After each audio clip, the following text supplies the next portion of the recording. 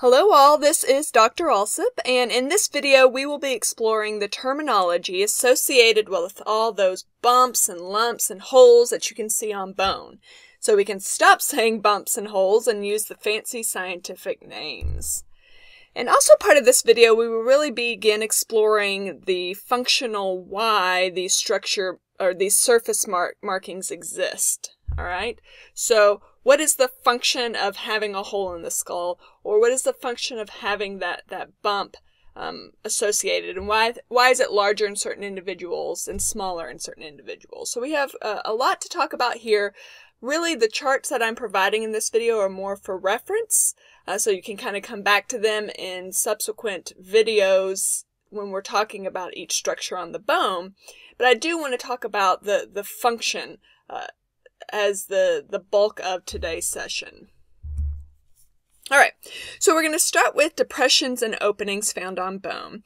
And as you can see, there are multiple different degrees in which these can exist. All right, so you can have a complete opening, which is the trusty foramen or foramina if we're talking um, or if we're speaking of the plural.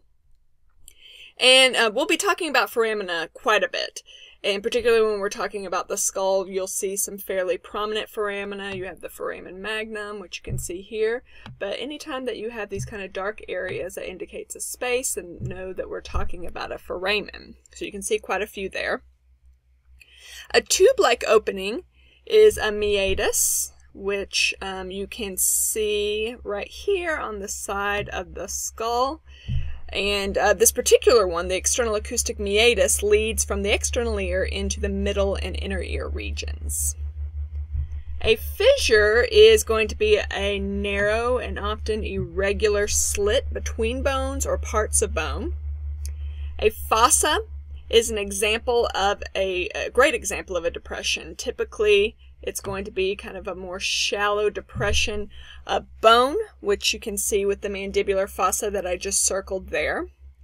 And lastly, a sulcus is pretty similar to a fossa, but is often a little bit deeper and will form more of a groove. So let's think about uh, what structures are really associated with these markings. Why are they there? Well, an important thing to understand about bone is that neurovasculature forms first, and then bone forms around the neurovasculature. So the size and shape of the neurovasculature will very much affect the size and shape of the foramina, fissures, or sulci that traverse through those regions.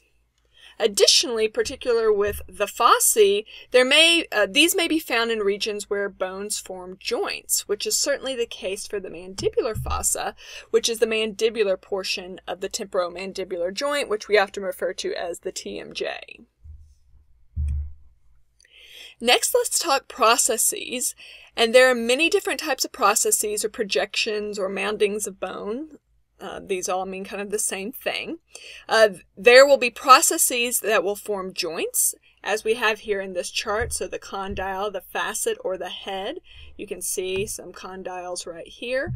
On the distal femur, you can see the head of a femur or the head of the humerus, as well as facets. You can see a facet right here when we're looking at the side of the vertebrae. And for these type of processes, the, these type of processes that are going to play a role in terms of the formation of joints, notice that their surfaces are very smooth. And this is because articular cartilage sat in this region, sat on the bone during life, making these areas really smooth. And so that's something that's very distinct. And I always, if I'm trying to figure out if a joint formed in a certain part of a bone, I look to see if the, the bone is extremely smooth. The majority of types of processes are actually those that form attachment points for both muscle tendons as well as ligaments. And we will talk about each one of these as we discuss the specifics of the name bones in upcoming videos. But I want to note that the size of these processes have everything to do with how many things attach there. And say if a muscle attaches there, is that muscle contracting a lot and pulling on the bone more? Say with weight bearing exercise?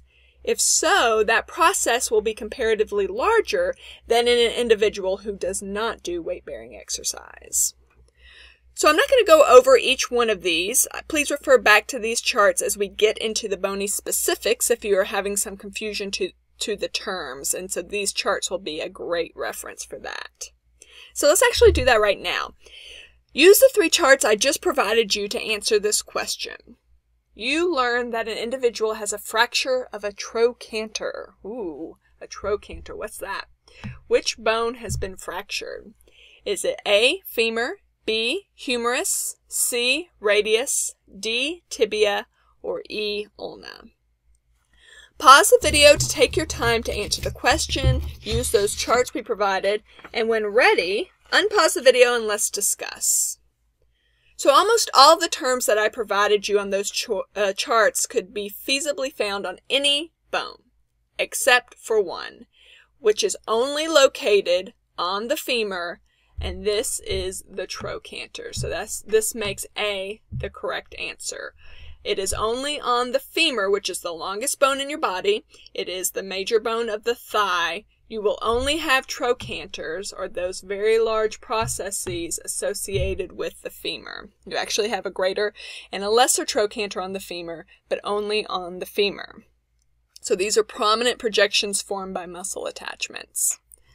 The other bones listed are examples of long bones, the humerus of the arm, the radius of the forearm, as well as the ulna is also of the forearm, and then the tibia is of the leg. These bones certainly have numerous processes in the form of tubercles and epicondyles and many, many more, uh, but no other bone has a trochanter. So A is the correct answer, the femur. All right, that was a lot of fun, and we will return to these terms over and over again throughout the course. Uh, so to be continued for sure. Thanks for your time and attention, and have a great rest of your day.